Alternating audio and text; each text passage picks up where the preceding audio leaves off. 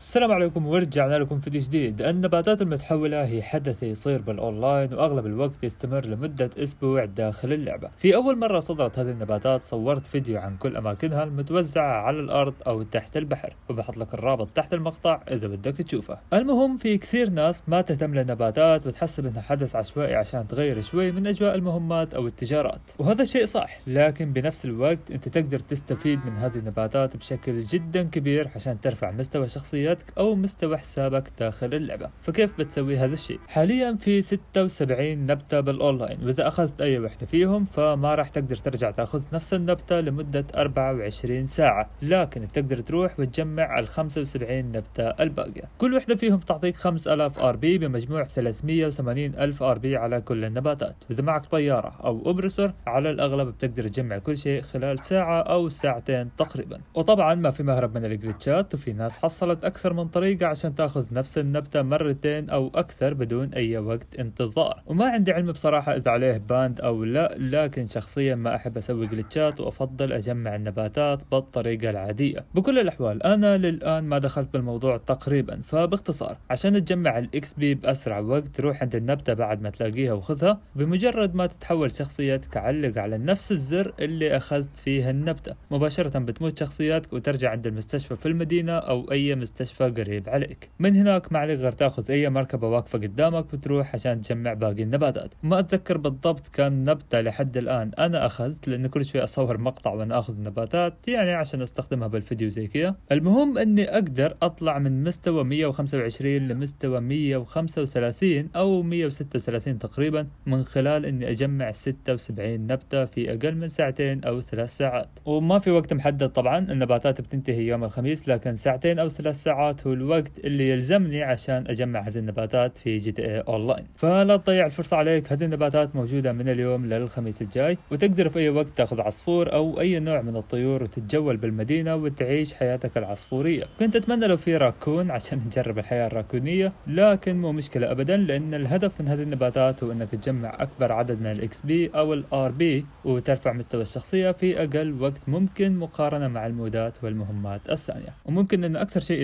يتعبك ويضيعك بالنباتات هي الموجودة تحت البحر لأنها أصعب شوي من الموجودة على الأرض ولازم تحاول تسمع الأصوات اللي تطلع من النبتة عشان تحدد مكانها بالضبط. وبعدها تقدر تعيش حياتك السمكية وتجوب البحار باحث عن كنز ال One Piece. أقصد أنك تقدر تتحول لأكثر من نوع من الأسماك من خلال هذه النباتات. فشغلة حلوة وبنفس الوقت تعطيك مكاسب جدا كبيرة لحسابك في GTA Online. خصوصا إذا أنت جديد على اللعبة أو مسوي حساب جديد تبي ترفع المستوى فيه هذه النباتات بتفيدك بشكل كبير. فما أدري والله إذا كنت مهتم بالنباتات أو لا لأن في كثير أشياء تقدر تسويها بالأونلاين غير إنك تدور على نبتة وتتحول لمخلوقات غريبة. لكن بكل الأحوال إذا ودك ترفع مستوى الشخصية وفكرت في أي وقت إنك تدور على مهمة أو mode يعطيك RP كثير للحساب عندك فهذه النباتات هي أفضل شيء حاليا. من هنا أكون وصلت لنهاية المقطع. يعطيكم العافية على المشاهدة. لا تنسانا من ال like والاشتراك وأشوفكم فيديو جديد بإذن الله.